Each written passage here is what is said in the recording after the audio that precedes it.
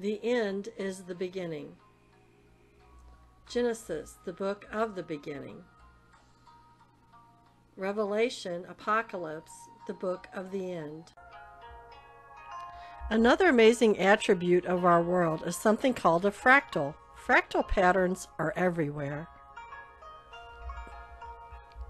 What is a fractal and where are they found? A fractal is a never-ending pattern that repeats itself at different scales. This property is called self-similarity. Fractals are extremely complex, sometimes infinitely complex, meaning you can zoom in and find the same shapes forever. Amazingly, fractals are extremely simple to make. A fractal is made by repeating a simple process again and again.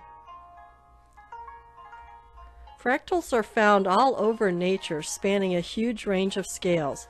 We find the same patterns again and again, from the tiny branching of our blood vessels and neurons to the branching of trees, lightning bolts, and river networks.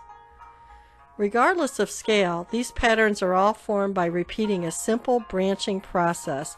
A fractal is a picture that tells the story of the process that created it.